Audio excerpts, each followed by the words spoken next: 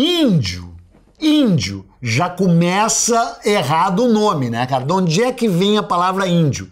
Vem do mala do Cristóvão Colombo, que chegou no Caribe e achou que tinha chegado na Índia. Olhou uns caras ali e disse: Olha os índios, ainda errou de novo, né? Porque era para dizer hindu, né? E o pior é que virou índio, né?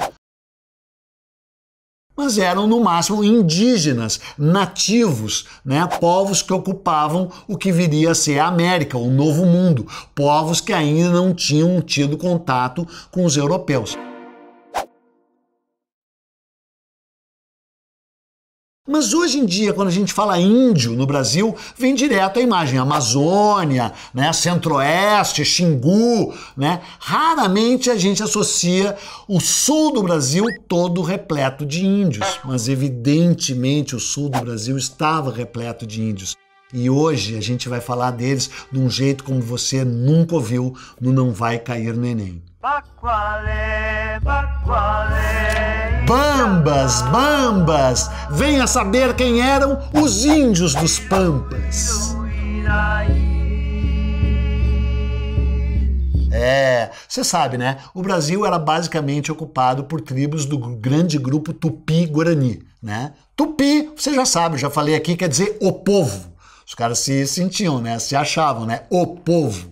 E tapuia, que eram os inimigos deles, queriam dizer os outros, os eles, os bárbaros. É, os tapuias eram de outros grupos, né? Basicamente do grupo G, não faziam parte dessa grande nação tupi que ocupava todo o litoral brasileiro, do Maranhão até o início do Rio Grande do Sul, e a nação Guarani, né? Que ocupava a grande parte da Mesopotâmia ali, dos rios Paraná Paraná, Paraguai, todo o Paraguai era o, o cerne da nação Guarani, né? parte do oeste do Paraná, oeste de Santa Catarina, oeste do Rio Grande do Sul, onde os jesuítas criariam as, os 30 povos guaranis, as missões guaranis, as missões jesuíticas, que é um extraordinário episódio que algum dia será feito aqui em várias etapas, inclusive, porque é uma história épica, trágica e sangrenta, muito reveladora e que inacreditavelmente gente nunca cai no Enem, jamais. Não se estuda realmente a história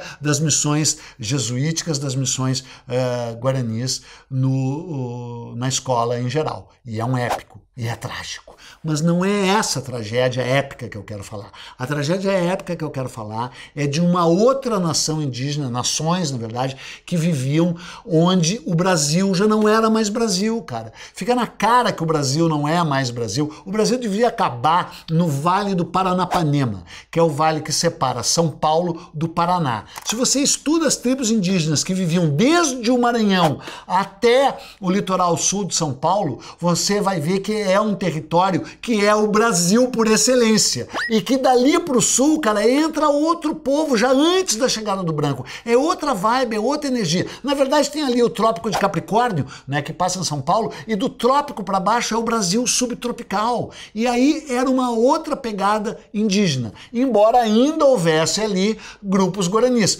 Por exemplo, o grupo Carijó, né? E era o chamado melhor gentil da costa. Eram os índios Mané da Ilha, já falei neles, cara, os índios Zen, os índios Bah, porque os tupi eram cara assim, ó, agressivo, aguerrido, né? Ali moravam os Guarani em Santa Catarina. Mas não é dos Guarani que eu quero falar, cara. O que eu quero falar é do índio que deu origem ao gaúcho. O, o território era assim, vou te contar toda a história. De, de, do Cabo Frio, no Rio de Janeiro, até a, a Bertioga, em São Paulo, vivia a nação Tamoio. Tamoio quer dizer o avô. Portanto, era óbvio que o Tamoio tinha chegado antes e por isso ocupou o Rio de Janeiro, né? Não é trouxa? Depois vinha o Tupinambá. Tupinambá quer dizer o tupi por excelência. Então é, era o tupi de verdade mesmo, mas já filho do avô. Ocupou o recôncavo baiano e ocupou outros trechos uh, muito especiais do litoral brasileiro. Abaixo do, do, do, território tamoio, em Bertioga, até mais ou menos a Ilha do Mel, vou mostrar uns mapinhas aqui para resolver, para facilitar a tua vida, viviam os, os tupiniquim. Tupiniquim quer dizer o vizinho do tupi, Portanto, era um chinelão, cara, só podia morar em São Paulo. Não, sério, cara. O ódio entre os índios do Rio de Janeiro e os que do lugar que viriam ser o Rio de Janeiro e os índios de São Paulo era ancestral. Tem essa rivalidade. Já falei isso aqui uma vez e é legal repetir. O, a rivalidade entre os índios do Rio e de São Paulo é muito anterior à chegada branco. Entendeu? Tava em eterno confronto, né? Nesse território que se iniciava em Bertioga. Eles ficavam brigando ali onde é o Guarujá. Inclusive tinha índio que tinha triplex ali, o Tibiriçá, ele morava no pátio do colégio, na cidade de São Paulo. Mas ele descia pela Via Anchieta, muito engarrafada, e passava o fim de semana num triplex maravilhoso que ele tinha ali. Ele comprou com o próprio esforço o triplex dele. E sério, é, dava muita confronto, muita luta entre o, o, o, os Tupiniquim e os Tamoios exatamente ali no canal de Bertioga, onde aliás foi preso por causa desse confronto o arcabuzeiro alemão Hans Staden, que daria um maravilhoso episódio que algum dia faremos. Tá, não é nada disso que interessa. Aí depois dos Tupiniquim vinham os Carijó. O território Carijó começava mais ou menos onde hoje é a Ilha do Mel, Paranaguá, um pouco mais abaixo ali e se estendia até um pouco depois de Laguna, na, em Santa Catarina. De Laguna para baixo, cara, quem é que ia se interessar pelo aquele buraco que é o Rio Grande do Sul, cara? Quem é que vai se meter naquele lugar horrível que é o Rio Grande do Sul? É a maior costa retilínea do mundo, também falei disso, cara. Não tinha nenhuma baía, nenhuma reentrância, um lugar com vento nordeste, um mar gelado. Quem é que ia se morar ali? Quem é que ia morar ali, cara? Quem ia morar ali era Charrua e Minuano, cara. Mais Minuano. Eram tribos indígenas que não tinham absolutamente nada a ver, nenhuma relação com o grupo Tupi-Guarani. Né? Era uma outra etnia. Os Minuano ainda tinham contato com os Carijó e ainda eram um. É, seria quase um, um, um charrua genérico.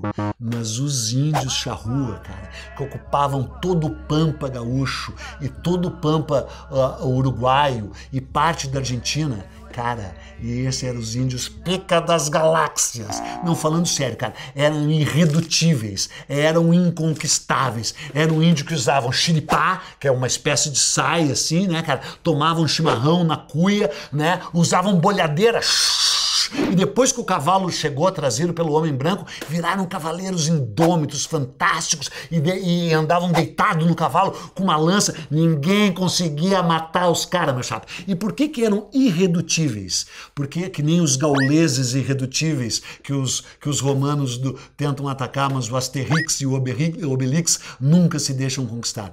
Porque quando os jesuítas criaram as missões, elas se chamavam reduções. E o que quer dizer redução? Quer dizer reduzir a vida civilizada. Você pega pessoas que estão espraiadas, vivendo de um modo selvagem e errático, muitos deles nômades, e os reduz, os conduz, os uh, confina num só lugar. Os reduz à vida civilizada. E aí vem o nome reduções jesuíticas. Só que os jesuítas conseguiram fazer isso com os Guarani porque os Guarani eram um grupo agrícola, afeito ao trabalho conjunto e à atividade agrícola. E os Charrua e os Minuano, cara, eram bandos de coletores, caçadores nômades, nunca tinham tido residência fixa e nunca tinham desenvolvido a, a, a agricultura. Eram realmente índios cabelos ao vento, só faltava ter moto, tipo, ah, sem destino. Ah, cara, eu amo, eu adoro, eu venero esses índios. E é o seguinte, você sabe como que eles foram mortos, porque é o seguinte, ninguém conseguiu conquistá-los. Eles foram de, todos dizimados. Quem começou a dizimá-los foram os índios guaranis armados pelos padres jesuítas. É, cara, é exatamente isso. Porque as, as missões jesuíticas, das quais algum dia falarei, tinham grandes ervais, erva mate, né, uma erva sagrada, uma erva uh, uh, que faz bem para o espírito, para a mente e para o corpo, tipo outra erva que tem ali também bastante no Uruguai, hoje está liberada no Uruguai. É, ervas, ervas, você sabe, o poder mágico das ervas, não é mesmo? Então a erva mate era uma delas, uma erva sagrada dos Guarani, mas que os charrua também tomavam. E aí os jesuítas fizeram grandes ervais, inclusive ganharam muito dinheiro com os ervais e grandes currais de vaca. E aí, de repente, cara, os índios charrua que tinham antes que perseguir. Uh, uh, ema, especialmente avestruz, né? E tudo que é biviado, cacete, para ter carne, de repente um monte de gado, né? Com uma carne ainda muito melhor. Os charrua que inventaram o fogo, o, o, churrasco de fogo de chão, né? Com espeto de pau, que os, os gaúchos tradicionais fazem até hoje. Eles viram aquele gado todo começaram a pegar aquele gado para eles, né, cara? Índio não tem propriedade privada, né? Índio é tudo comunista. E aí, o que, que os padres fizeram? Manda matar esses índios, sério. E botaram, inclusive, o Cepete Araju, que um monte de gente idolatra, Cepete Araju, não sei quem, índio uh, missioneiro, a matar charrua e minuano.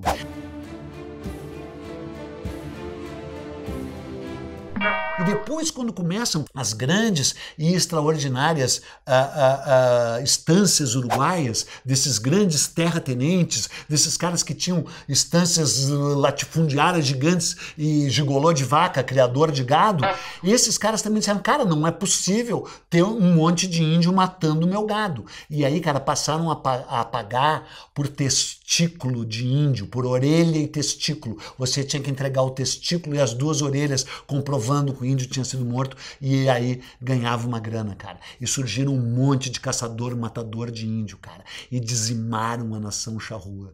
E depois que a nação charrua tinha sido dizimada, o gaúcho e os gaúchos uruguaios, o gaúcho argentino, o gaúcho uh, rio-grandense, todos incorporaram a mística libertária indômita do gaúcho, né? Do, do charrua. Só que o charrua estava morto, né, cara? Até hoje os uruguaios se chamam de charrua, né? Chamam seus times de charrua, nação charrua.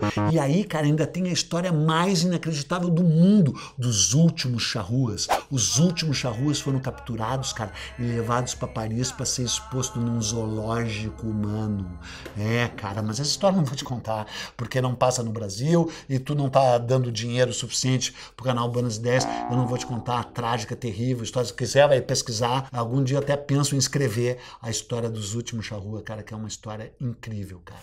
Os portugueses se aliaram de início com os minuano, né? Os minuanos mo moravam naquela restinga na Lagoa dos Patos, na verdade é uma laguna, mas todo mundo chama de Lagoa dos Patos, Lagoa Mirim, uh, uh, todas aquelas lagoas que existem no sul do Grande Sul, toda aquela área era uma área minuano. Os minuanos fizeram um acordo com os portugueses quando eles criaram a cidade de Rio Grande, em 1737, primeira cidade uh, construída no Rio Grande do Sul, né? Justamente, tá, não interessa porquê, uh, vai estudar. E, e aí os, os minuanos portugueses fizeram uh, esse acordo, mas os charruas, cara, nunca fizeram acordo com ninguém, cara.